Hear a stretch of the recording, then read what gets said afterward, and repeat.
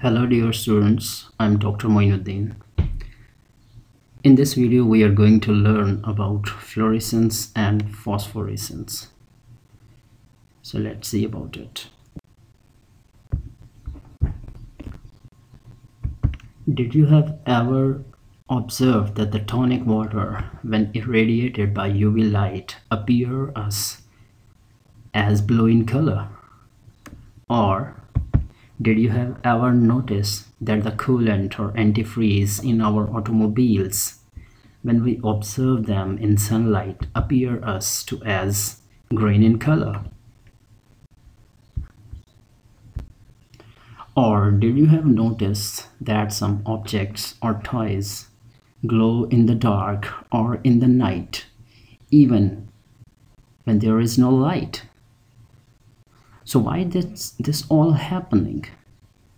So to know the reason behind this phenomena, you need to watch this video till the end. Actually, fluorescence and phosphorescence is behind this phenomena. So to understand fluorescence and phosphorescence, let's have some terminology which we must have to understand first so singlet state. It refers to the system in which the electrons have opposite spin. For example, there are two electrons and they are in opposite spins with each other. So we can refer it to the singlet state and their overall spin quantum number is zero. Let's see in the figure. This is the pair of electron and they have opposite spin. So we can say they are in singlet state. And because they are in ground state so this can be referred as ground singlet state or singlet ground state. And let these are irradiated by some radiation and one of them get excited to higher level. And even in this higher level the spin of this electron is opposite to that of the electron from uh, in the ground state. So we can refer it that these are in singlet state and this can be referred at as singlet excited state. Now, what is triplet state? It refers to a system in which the electrons have the same spin. So if, if electrons have the same spin, so this state is called triplet state and their quantum number is not zero, rather it's one. For example, we can see in the figure, here are the two electrons one in the ground state and one in the excited state but their spins are same. So we can refer these as excited triplet state. So let's see what is fluorescence. Luminescence is the phenomena of emission of light from any substance and occurs from electronically excited states. So what does it means when a substance is irradiated by electromagnetic radiation, there may happen some electronic transition. That is, one of its valence electron may get excited to the higher energy level and when it returns back to the ground state, it emit lights. And there happens the phenomena of luminescence. Now there could be the different excited states and even the nature of excited states. So depending on the nature of excited state, luminescence is divided into two categories, fluorescence and phosphorescence. Let's see how fluorescence occurs. So light falls on some substance and let's see one of its electron is excited to the higher energy state. And in higher state, let the electron remains in singlet state means its spin remains opposite to that of electron present in the ground state. So when this electron returns to the ground state, definitely it will emit light and there will happen the phenomena of fluorescence. So this can be seen by the figure, by the image next, shown in the next slide. So electrons are present here in the ground state. When these are irradiated by some electromagnetic radiations, So maybe one of electron get excited may reach in the higher energy state. So there might be some relaxations here, here, and then it comes here. Okay. But electron is present in the singlet state, means its spin is opposite to that of electron present in the ground state. So it returns back from here to the ground state by emission of radiation and that is called fluorescence. So the lifetime of fluorescence is about 10 nanosecond, very short lifetime. And what is lifetime? So lifetime of a fluorophore is an average time between its excitation and return to the ground state. And what is fluorophore? Any substance exhibiting the phenomena of fluorescence is called fluorophore. Because the lifetime or time scale is very short in case of fluorescence, so definitely the measurement of emission requires sophisticated optics and electronics. In these slides, chemical structures of different compounds have been shown together with the solutions of these chemical compounds.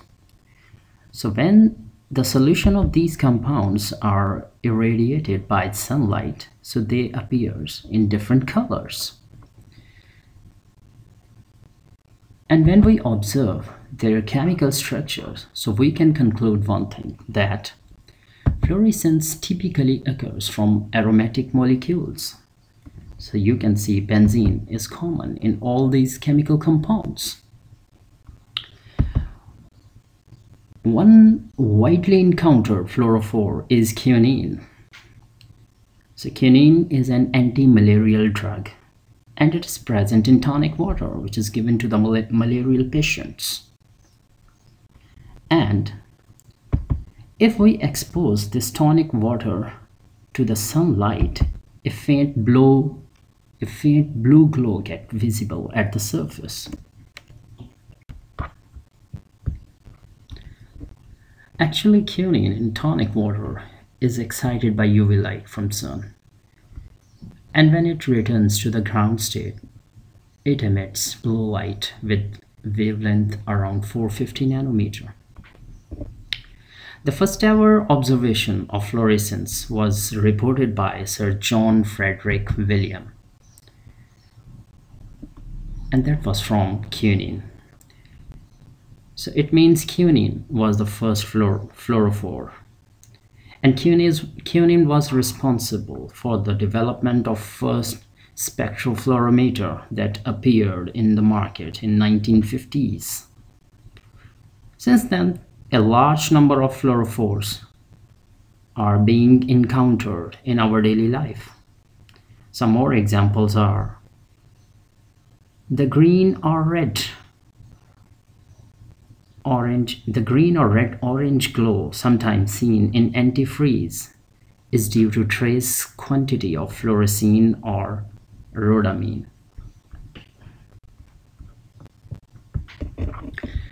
As I mentioned earlier, that mostly aromatic compounds exhibit the phenomena of fluorescence. So here are some more examples. Polynuclear aromatic hydrocarbons like anthracene and perylene are also fluorescent. And the emission from such species is used for environmental monitoring of oil pollution. So by using fluorescence phenomena, we can also monitor the pollution in an environment. Then, pyridine-1 and rhodamine are frequently used in dye lasers as a dyeing medium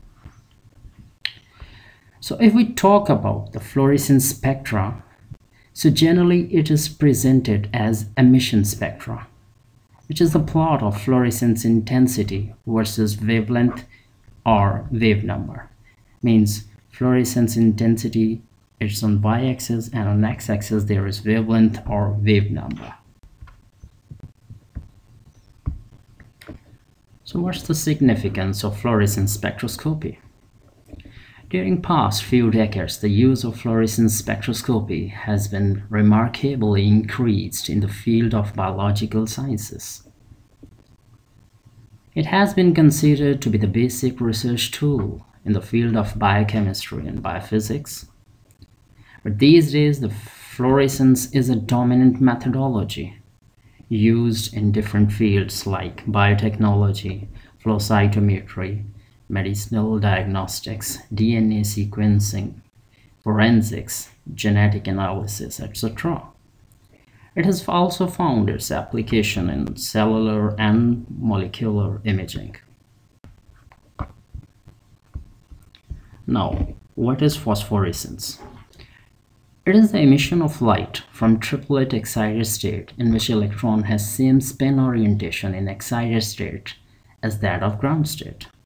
Means the substance is irradiated by radiation and one of electron get excited but it is present in triplet excited state means the excited electrons have same spin as that of electron present in ground state.